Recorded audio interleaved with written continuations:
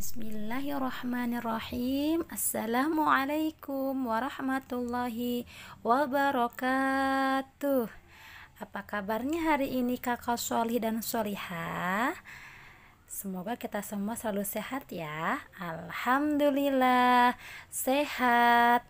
Luar biasa. Allahu Akbar Baik kakak, sebelum memulai pembelajaran hari ini, kita berdoa terlebih dahulu ya. Bismillahirrahmanirrahim.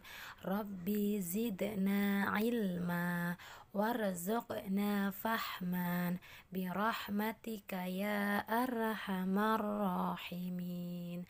Amin. Baik, untuk pembelajaran hari ini kita belajar pembelajaran 4 halaman 139 sampai 141 ya. Halaman 139. Ayo menyimak.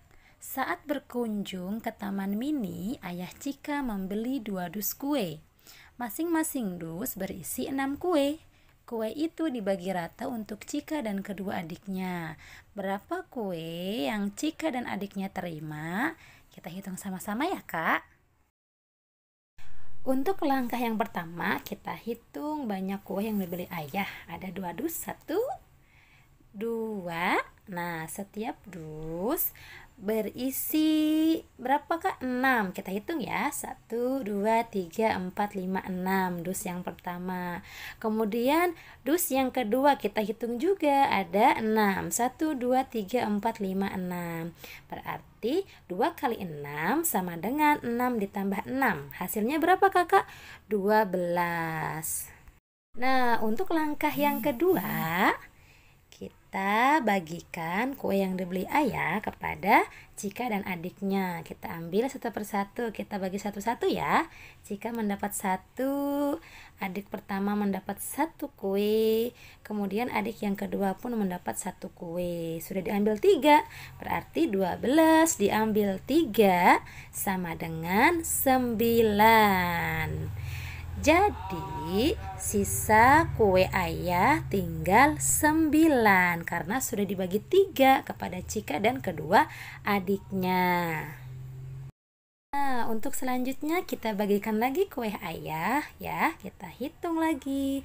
Kita bagikan donatnya ya atau kuenya. Satu. Kita bagikan ke Cika satu. Kemudian kita bagikan ke adik pertama satu kuenya Selanjutnya kita bagikan juga kepada adik yang kedua satu juga. Jadi mereka masing-masing mendapatkan dua kue. Ya, maka kue ayah tinggal 6. 9 dikurang 3 sama dengan 6. Nah, untuk selanjutnya masih ada ya, Kak? Kita bagikan kembali kepada Cika dan kedua adiknya. Kita bagikan kue tersebut. Sekarang yang berwarna coklat.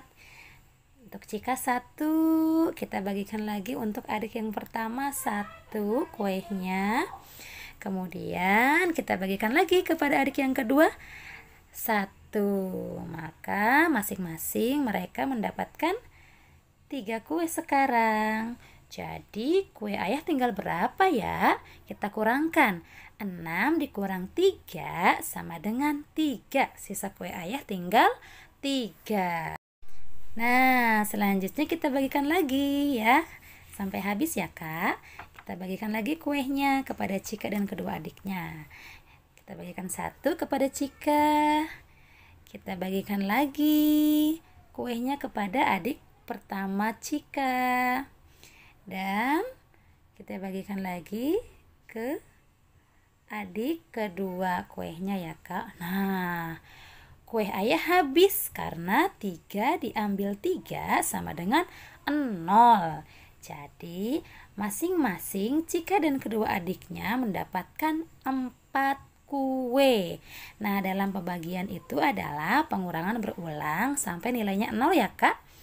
2 dikali 6 dibagi 3 2 kali 6 sama dengan 12 dibagi 3 sama dengan 4 Nah, sudah paham ya kak? Selanjutnya pembelajaran 5 halaman 143 Ayo membaca. Bermain di taman air banyak orang yang berwisata ke taman air. Di sana ada banyak permainan air. Ada meriam air, seluncuran, pancuran, dan ember air. Semua pengunjung asyik bermain di taman air. Namun ada peraturan yang harus dipatuhi. Peraturan harus dipatuhi agar semua nyaman dan aman bermain di taman air. Jadi peraturan yang ada di taman air harus dipatuhi ya kak, tidak boleh dilanggar. Nah beberapa peraturan itu adalah yang pertama tidak boleh berlari-lari di tepi kolam yang licin. Nanti bisa terpeleset dan terjatuh ya kak ya. Tidak boleh ya. Yang kedua tidak boleh bercanda saat meluncur dari ketinggian. Harus bergantian. Tidak boleh bercanda ya sayang ya Nomor tiga, tidak boleh makan dan minum saat di kolam. Tidak boleh ya kak, nanti kolamnya jadi kotor. Kalau mau makan kita naik ke atas dulu, tidak boleh dalam kolam renang ya. Kemudian yang terakhir, tidak boleh membuang sampah sembarangan apalagi di kolam renang. Tuh lihat gambarnya, banyak sekali sampahnya ya Kak di kolamnya. Nah, ini tidak boleh. Kita harus bisa menjaga kebersihan baik di rumah maupun di tempat umum. Buanglah sampah kepada tempatnya. Nah, seperti ini. Ini adalah tindakan yang baik. Patut dicontoh ya, Kak. Karena apa? Jika membuang membuang sampah sembarangan bisa mengakibatkan apa kak? Bisa mengakibatkan banjir. Tuh buang sampah bekas makanan botol minum. Bisa mengakibatkan banjir. Apalagi sampah dari penjual di trotoar ya. Nah kemudian banyak lagi sampah-sampah yang menumpuk di sungai. Nah, kita harus bisa menjaga kebersihan dan membuang sampah pada tempatnya. Oke? okay? Selanjutnya, pembelajaran 6 halaman 147 sampai 148. Ayo mendengarkan. Berwisata ke tempat bersejarah. Berwisata ke tempat bersejarah sangat mengasyikkan. Di sana kita bisa tahu sejarah bangsa Indonesia. Contoh tempat bersejarah adalah museum dan tempat ibadah. Di tempat wisata bersejarah, kita harus patuh aturan kita tidak boleh bermain atau bercanda di sana. Di sana banyak benda-benda berharga dan langka. Benda-benda itu harus dijaga agar tidak rusak. Bila ingin bermain, bermainlah di halaman. Biasanya tempat wisata bersejarah dilengkapi dengan halaman yang luas. Jadi, ketika kita sedang berwisata di tempat bersejarah, apalagi di museum ya banyak benda-benda peninggalan sejarah yang sudah lama. Nah, ini adalah harus dijaga oleh ki oleh kita.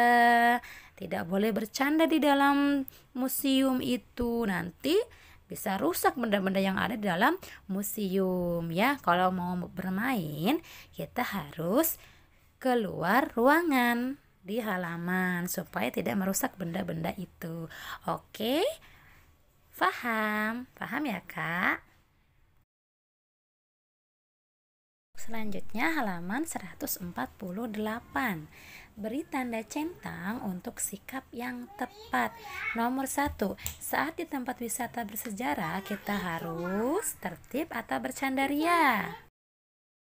Jawabannya adalah tertib. Kemudian yang kedua, kita menyentuh benda-benda langka di museum. Jawabannya bebas atau tidak boleh. Betul, jawabannya tidak boleh. Beri tanda centang ya, Kak. Nah, selanjutnya nomor tiga. Kita menjaga benda-benda berharga di museum agar tetap lestari. Tidak perlu atau harus ikut ya. Jawabannya apa, Kakak?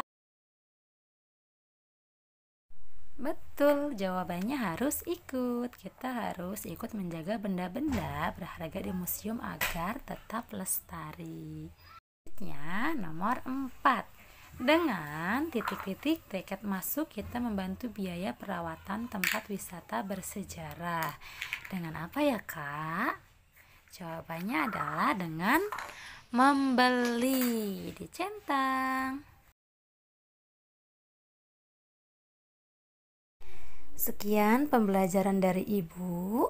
Untuk tugas hari ini, ayo berlatih halaman 149 sampai 150 dan evaluasi 4 ya kak. Terima kasih yang sudah menyimak video hari ini. Ibu akhiri. Wassalamualaikum warahmatullahi wabarakatuh